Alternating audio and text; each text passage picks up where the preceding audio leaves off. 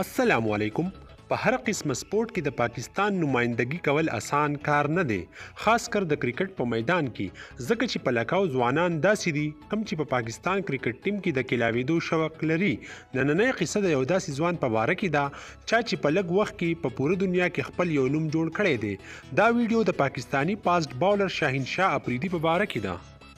دوستانو شاهین شاه اپریدی په 2000 کې د خیبر پښتونخوا په یو علاقه لنډی کوتل کې پیدا شوی و د په خپل وو ورونو کې د ټولو نه کشر دی د دې ټولو ورونو د کرکټ سره ډیر زیات شوق و د دا مشرې رور ریاض اپریدی یو ټیسټ کرکټر و او په 2004 کې د سریلانکا خلاف خپل اولنې واحد ټیسټ میچ کېلاو کړی و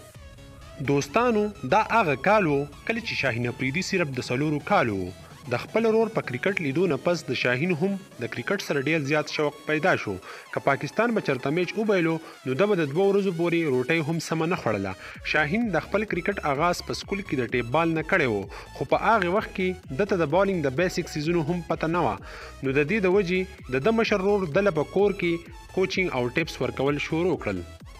دوستانو وخت تیریدو دا د دوه زره پندره خبره ده کله چی د پاټا د انډر سیکسټین ټرایلز شروع وو شاهین اپریدی د خپل مشر ورور نه د دی ټرایلز د جاین کولو خواهیش ظاهر کړو دا ټرایلز په پیشاور کی کیدونکی وو خو شاهین اپریدی ډیر ورکوټی وو نو ځکه د دی ورور دی پیشاور ته ووستو. شاهین افریدي په دې ټرایلز کې صرف دوه باله کړي وو د کومو نه چې سلیکټرز ډیر زیات متاثر شو او شاهین افریدي د فاټا انډر 16 ټیم د پاره سلیکټ کړو په دې وخت کې د د عمر صرف 15 کال وو او د خپل خطرناک بالینګ د وجې د په لګ وخت کې په انډر 16 سیکټر کې ډیر زیات پاپولر شو ده د خپل ټیم پاټا د فاره د ټول نه ډیری باره ویکټی واغستی او داسی د نیشنل سلیکټرز نظر په شاهین افریدی فریوتو بیا یی په 2015 کی شاهین افریدی د استرالیا د ټور د فاره سلیکټ کړو په دی سیریز کی د ډیر ښه پرپامنس اوخودلو چی داغی په وجه یی دی په انډر 19 سکواډ کی هم شامل کړو. بیا په 2016 انډر 19 ایشیا کپ کې شاهین افریدي په تین میچونو کې 5 ویکټې واغستې بیا د ډي ټور نه پس په 2017 کې د د قائد اعظم ټراپای نه د خپل فرست کلاس کرکټ آغاز وکړو د په خپل اولنی میچ کې د 39 رنزو په ایوس 8 ویکټې واغستې د پاکستان د کرکټ په تاریخ کې دا د یو بالر د پاره په خپل فرست کلاس ډیبیو بهترین بالینګ وو د شاهین اپریدي مطابق دی په خپله هم ځان ته ډیر زیات حیران و ځکه چې دده سفر د پاکستان ټیم طرف ته ډیر په تیزۍ سره روان و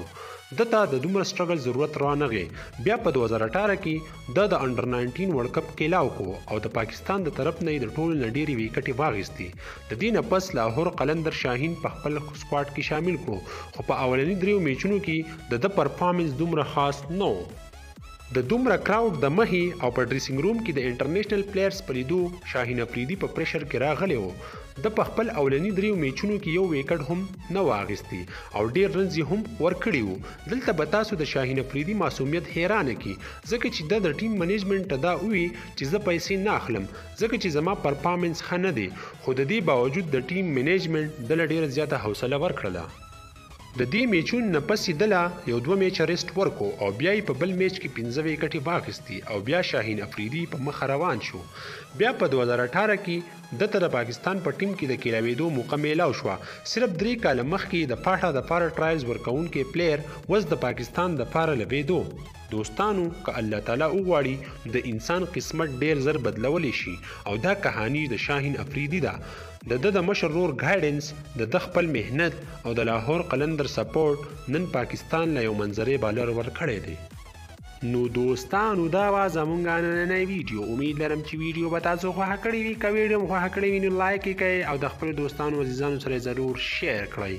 د لوی الله تعالی په امان.